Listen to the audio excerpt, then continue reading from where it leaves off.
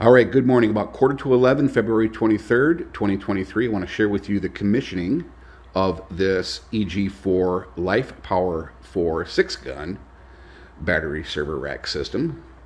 I'm using 4-aught cable, had to make it all myself, and got it hooked up into the bus bars. We're going to open this door up. I'm going to show you the fix action for these included bus bars. First off, I want to say I work for myself. I paid for everything myself. My opinions are unbiased, no BS. This is the way I roll. It's either black or white or it doesn't roll. So let's go in here. And the number one thing with everything is if you, if you don't know what you're doing, don't do it. If it doesn't look right, feel right, smell right, taste right, I had a supervisor tell me that a long time ago when I was a technician. Don't do it. Do it right. Get it right the first time. Don't screw around with this stuff. This thing is a 30,000 watt battery, 30 kilowatt hours. It will kill you in a heartbeat if you if you do stuff half-ass and don't screw around. So what I had to do is take these bus bars completely off and put hardened bolts. I had to drill out six new holes for each of these 12 battery interconnecting cables and install uh, quarter 20s in there. Cleaned up the, the copper bus itself. These are all grade 8 hardened bolts with nylock. This, is a, this isn't a nylock here. Um, but that's this is what I had to use for here.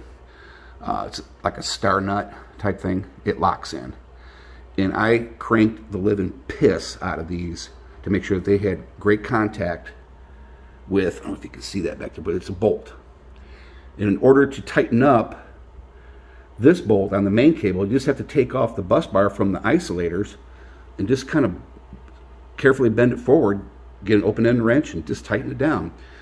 And for mounting the bus bars to the batteries, I just pre-positioned them, tighten them all down, good and tight, tighten them down. Then I mounted the bus bar and then mounted them to the battery. Easy peasy lemon squeezy. Correct torque sequences. The only thing is I had to bend these out just a little bit to clear the circuit breakers. And you can't put the plastic cover plates back on unless I, well, no, I can't. I tried. That's a pretty good picture right there. Maybe. See there, nylock. God dang it, autofocus crap. Anyway, long story short, um, I'm using 4-aught cable, negative down here, positive up here. I eliminated all the pinch points back here and had to rework the wall down here.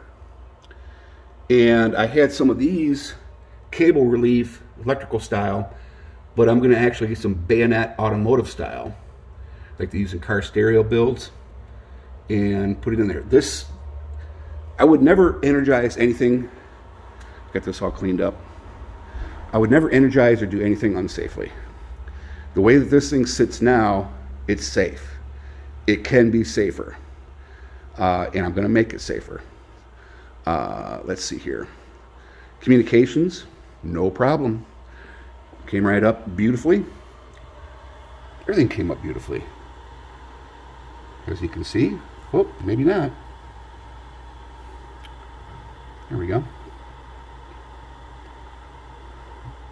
I have about 104 amps coming in, about 5,000 watts of power to charge these right now. I want to get them up to full charge. Let's go over here and I'll show you on the Whiz Bang Junior, 104 amps going in. And I had to reset all three of these classics for the uh, voltage parameters for these batteries, doing it by the book. Inverter's on, but I'm not inverting at this time. So there you have it. No BS zone, no spin zone here, folks. Um, now, until I can start inverting and, you know, using power, um, I'll give it my full assessment. But so far, so good. Biggest frustration point, again, was these bus bars. But you know what? No two systems are built the same. you know, installation wise, when you install these things, uh, this may not be the way you want to do it, or think it's not right, but it looks right, feels right, smells right, tastes right to me. So, to each their own, but never compromise safety.